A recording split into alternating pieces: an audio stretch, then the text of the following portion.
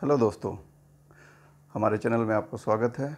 आज का वीडियो बहुत ख़ास होने वाला है क्योंकि आप लोगों के काफ़ी कमेंट आए थे कि लॉन्ड्री बिज़नेस में या घर में स्टार्च हम कैसे बना सकते हैं। क्योंकि अगर आप लॉन्ड्री का बिज़नेस कर रहे हैं, अगर और मार्केट से रिवाइव या अन्य स्टार्च खरीदते हैं तो बहुत ही कॉस्टली होता है और आपको किफ़ायती रूप से आप अपने लॉन्ड्री बिज़नेस में प्रयोग नहीं कर सकते हैं।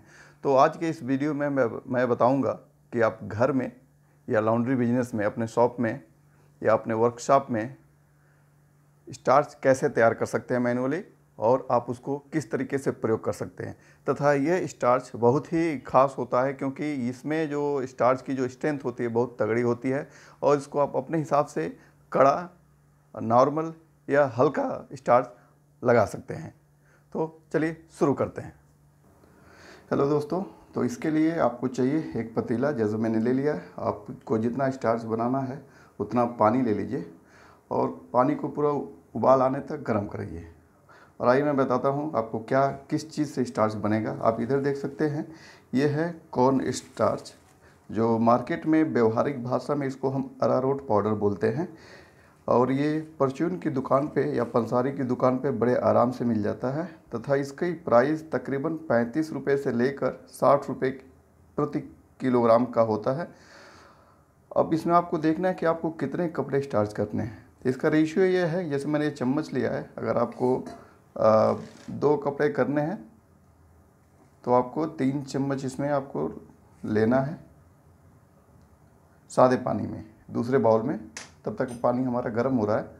और हम इसको क्या करेंगे? इसको सादे मतलब ठंडे पानी में इसको हम आराम से घोल बना लेंगे, क्योंकि बहुत चिकना होता है। और अगर आप इसको डायरेक्ट गर्म पानी में डालेंगे तो ये जो है पूरी तरह से घुल नहीं पाएगा। तो आप देख सकते हैं, ठंडे पानी में आप इसको मिला सकते हैं। तो आप देखेंगे, एक हल्का सा ऑफ़ वाइट दूध के कलर का ये हो जाएगा। ये दूध के कलर जैसा हो गया। अगर आपको और लेना है थोड़ा सा ज़्यादा स्टार्च तगड़ा बनाना है, हार्ड बनाना है तो आप इसके हिसाब से और स्टार्च इसमें ऐड कर सकते हैं। जैसे मैंने अभी चार चम्मच इसमें स्टार्च ऐड किया और इसको मैंने पूरा, देखिए, ऐसे ऐसे आप उठा के घोलेंगे तो बड़े आराम से घुल जाएगा। लेकिन आप कभी भी डायरेक्टली कॉर्न स्टार्च को इस गर्म पानी में डायरेक्टली नहीं डालिएगा, क्योंकि अगर डायरेक्टली आप डालते हैं फिर वो इकट्ठा सा हो जाएगा, वो घुलेगा नहीं। लेकिन अब इस तरीके से आपने गर्म कर दिया। तो दूसरे बाउल में आप ये घोल देखिए मेरा ये घोल बन गया है। आप ये देख सकते हैं, दूध के कलर का हो गया, ये घोल बन गया।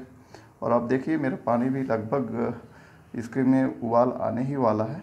जैसे इसमें उबाल आ जाए या आने वाला हो तो आप इसको डायरेक्टली इसको आप स्टिर करते रहिए, जब तक आप इसको इसमें डालते नहीं हैं। नहीं तो ये छोड़ देंगे तो ये नीचे बड़े आराम से बैठ जाता है। अब देखिए मैंने इसमें कर दिया। अब देखिए, पानी भी देखिए, लगभग उबाल आने वाला है। अब हम इसको क्या करेंगे? इसको इसमें ऐड कर देंगे।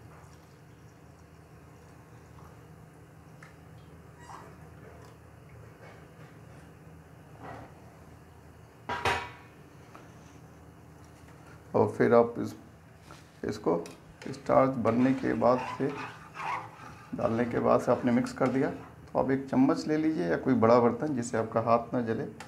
अब हल्का सा धीरे धीरे इसको आप घुमाते रहें। तो अब देखेंगे, जैसे अब हम इसमें उबाल आने लगे तो उसको कुछ समय तक हमको, आपको इसमें स्टिर करना है। आप देखेंगे कि धीरे धीरे ये थिक होने लगेगा। ये आपके ऊपर डिपेंड करता है कि आपको कितना थिक बनाना है। मुझे थोड़े कपड़े बनाने थे। थोड़े कपड़े के लिए, इसलिए मैंने हल्का सा स्टार्च लिया है। जबकि ये पूरी तरह से ग्रे कलर का हो जाए तो कुछ देर तक इसको उबाल लीजिए। उबालने के बाद से आप इसको गैस को बंद कर सकते हैं, या अपने चूल्हे को बंद कर सकते हैं।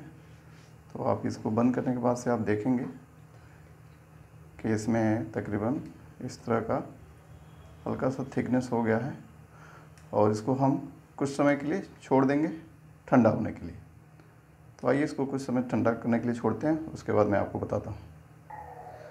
उसके बाद जैसे कुछ ठंडा हो जाएगा तो आप इसको थोड़ा सा फ़िल्टर कर सकते हैं, क्योंकि आपको ये न लगे कि इसमें कुछ अशुद्धि हो तो आपके कपड़े में चिपक सकता है। तो मैंने जितनी ज़रूरत है, उतना मैंने स्टार्च को छान लिया है। आप इसका कलर देख सकते हैं। अब थोड़ा सा अभी गर्म है तो लेकिन इसको हम कुछ समय के लिए और छोड़ेंगे, ठंडा होने के लिए। देखो दोस्तों मेरा हमारा स्टार्च ठंडा हो गया है तो हमने इसको एक बकेट में डाल लिया है।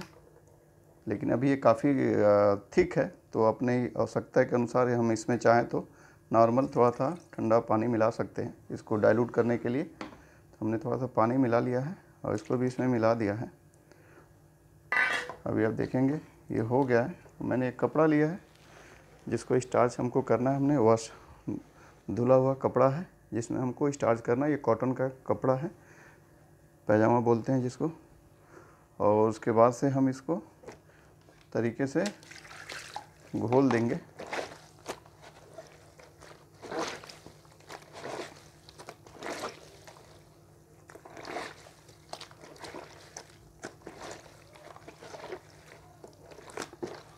ज़्यादा कुछ इसमें करना नहीं है। आपको कपड़े पूरी तरह से भीग जाए। मेरे एक ही कपड़ा है, इसलिए मैंने कम ही स्टार्च लिया है। उसके बाद से आप इसको निचोड़ सकते हैं।